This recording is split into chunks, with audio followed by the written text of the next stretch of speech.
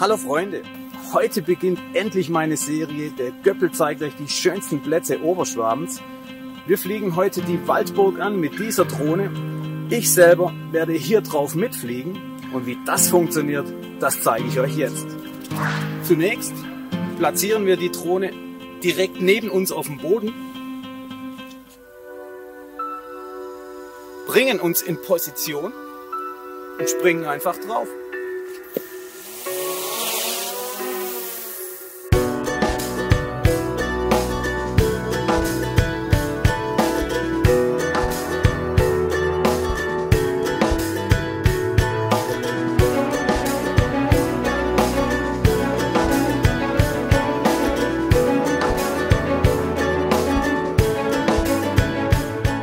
Die Waldburg stammt aus dem 12. Jahrhundert und liegt mitten im Dreiländereck Deutschland, Österreich, Schweiz, nahe dem Bodensee im Landkreis Ravensburg in Oberschwaben. Die Gründung der geschichtsträchtigen Anlage geht auf das 11. Jahrhundert zurück.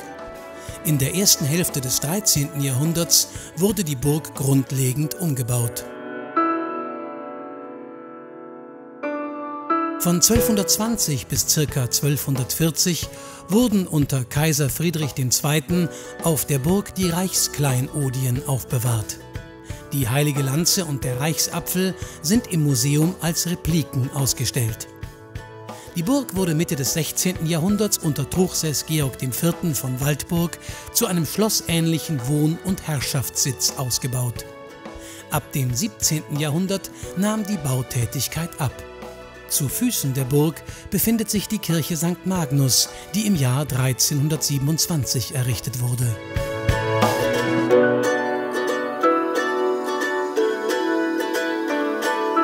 Musik